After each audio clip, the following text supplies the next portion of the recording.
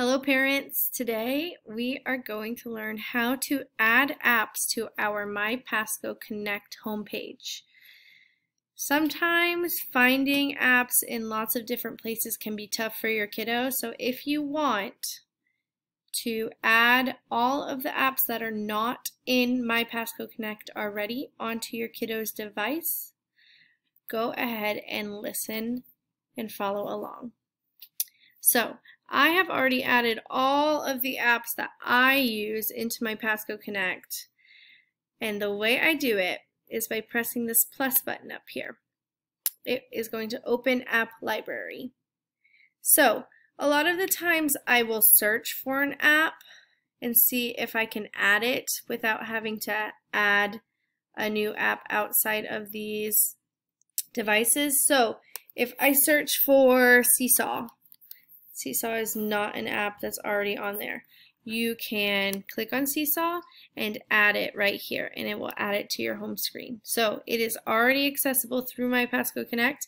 It is just not on your home page.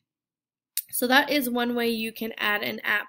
The second way you can add an app is by pressing this plus button here. Now I am going to add the app Boom Cards. So I will type in Boom Cards. That's what I want it to be called. It is um, canceling it out because I already have this app. But what I would do, I would go to the website that we have provided you for Boom Cards. So boomcards.com, um, sign in. It's going to bring me to my main page. And then I am going to take this and I'm going to copy it and paste it right into this website URL. Now I'm going to request single sign-on. What that will do, that will get your kids signed in once and then as long as they're signed into MyPasco Connect they do not have to type in another login ever again and that would be wonderful.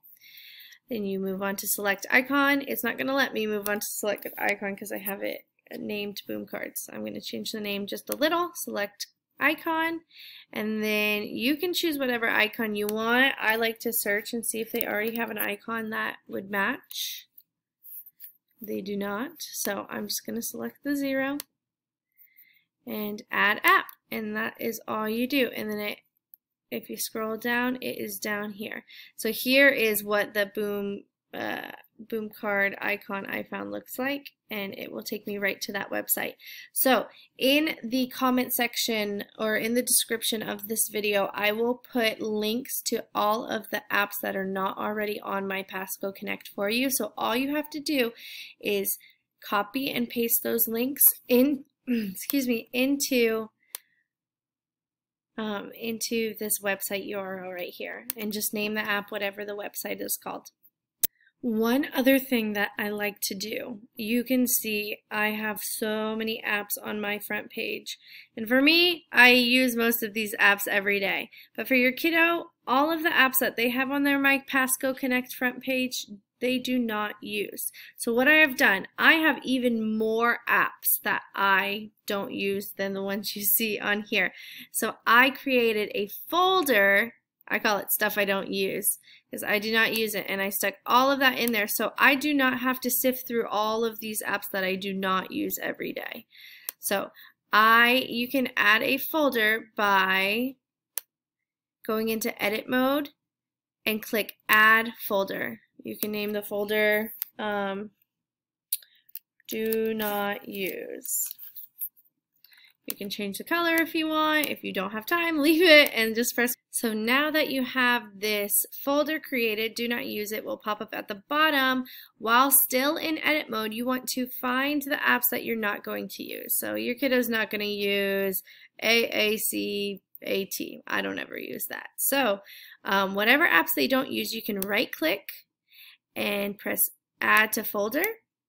Oh, sorry, press add to folder and put them in that do not use folder and they will be out of the way so your kiddo won't even see them. And that parents is an easy way to get all of your apps for your kiddo into My Pasco Connect so that they have one central location for all of these websites and apps and they don't have to log in every single time. The first time you log in is the last time you log in, and every single time after that, you will be good to go. I hope this helps.